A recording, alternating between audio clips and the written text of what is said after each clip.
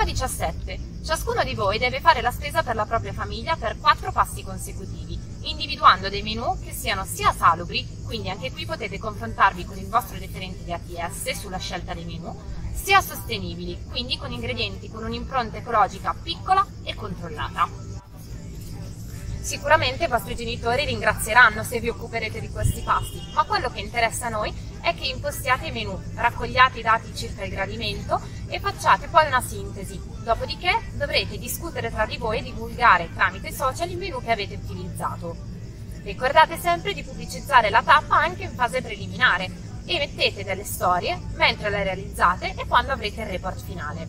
La macro area è prevalentemente il consumo delle risorse sostenibili e il massimo dei punteggi è pari a 10. Buon lavoro!